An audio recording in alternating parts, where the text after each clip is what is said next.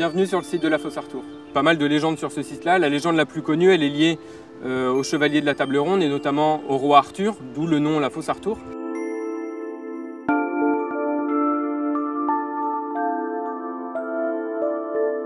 Suite à une grande bataille, en fait, le roi Arthur serait venu se retrancher dans une sorte de grotte, une chambre, on appelle ça. Donc il était d'un côté de la rivière et de l'autre côté de la rivière, la reine Guenièvre euh, était elle aussi dans, dans, une chambre. Et puis la fée d'ici, en fait, leur avait interdit de se rencontrer pendant la journée, mais par contre, ils pouvaient se voir dès que le soleil était passé de l'autre côté de la colline.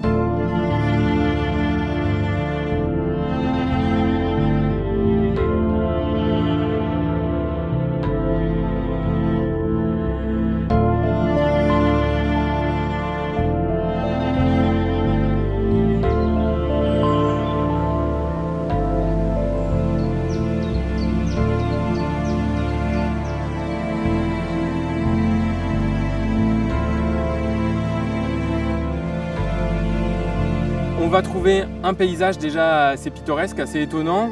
On va trouver ce qu'on appelle une cluse, c'est-à-dire une faille euh, euh, dans, une barre de grès armoricain. Dans cette faille, au creux de cette faille, on va avoir une rivière qui va circuler qui s'appelle la Sonce.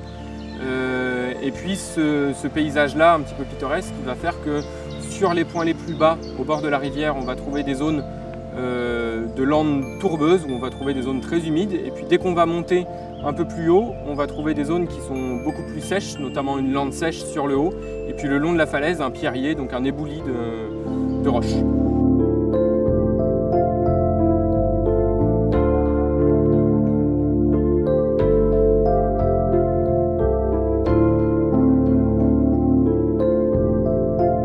ici, on est vraiment dans un paysage quasi montagnard où on va voir euh, une rivière un peu torrentueuse, où on va voir de la roche, et puis en même temps de la forêt euh, assez, euh, assez mystique presque.